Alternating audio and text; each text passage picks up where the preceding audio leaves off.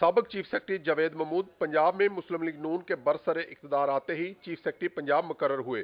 انہوں نے چارج سنبھالتے ہی جہاں بیوروکریسی میں وسیع پیمانے پر اکھاڑ بچھاڑ کی اور کئی سینئر افسروں کی خدمات واپس اسلام آباد کے حوالے کی، وہاں انہوں نے کئی اصلاحات بھی کی۔ وہ انتظامی امور کے ماہر اور فوری فیصلہ کرنے کے عادی تھے۔ انہوں نے تمام افسروں کو اوپن ڈور پولیسی اپنانے اور صبح آٹھ بجے دفتر پہنچنے کا پابند کیا۔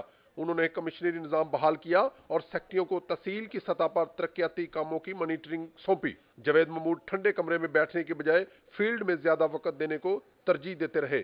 انہوں نے سیکٹریٹ کی عمارت کو اصل حالت میں بحال کیا اور سنیارٹی کی بجائے ڈیلیوری کی بنیاد پر تقرریاں کی۔ انہیں دو مرتبہ چیف سیکٹری پنجاب ہونے کا اعزاز بھی حاصل ہے۔ شریف خاندان سے قربت کی بنا پر وہ پنجاب کے انتظامی امور میں سیاہ سفید کے مالک جانے جاتے تھے۔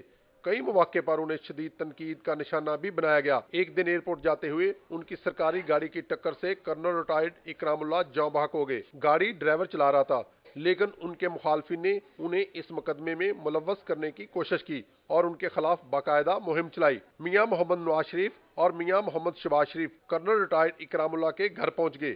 جاوید محمود کو او ایس ڈی بنا دیا گیا۔ میاں محمد نواز شریف نے میڈیا کے سامنے اعلان کیا کہ اگر جاوید محمود بیگنا ہوئے تو انہیں ان کی پوزیشن پر بحال کیا جائے گا۔ سیشن کورٹ اور ہائی کورٹ نے کرنل ٹائر کرام اللہ کے بیٹے کی درخواست پر جاوید محمود کے خلاف مقدمہ درج کرنے کی استدا رد کر دی۔ اسی دوران انہیں وفاقی حکومت نے گریڈ بائیس بھی دے دیا، جس کا اعلان ہوئے دو ماہ بیس دن گزر گئے، لیکن ان کے احکامات پر تاحال عمل نہیں ہو سکا۔ Javed Mahmood Geo R one میں اپنے گھر پر مسلم لیگ نون کے قائد میاں محمد نواز شریف کے وعدے کے افا ہونے کے منتظر ہے جاوید محمود وفاق میں پیپلز پارٹی کی حکومت ہونے پر پنجاب سے باہر جانے پر تیار نظر نہیں آتے اور وفاق بھی انہیں کوئی بہتر پیشکش نہیں کر سکا۔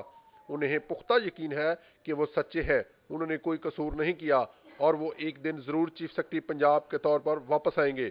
یہی یقین انہیں گریڈ بائیس میں ترقی پانے کے باوجود پنجاب میں او ایس ڈی کے طور پر رکھے ہوئے ہیں۔ کیمرہ مین مراج سید کے ساتھ Qaiser Khokhar, city forty two, civil secretariat.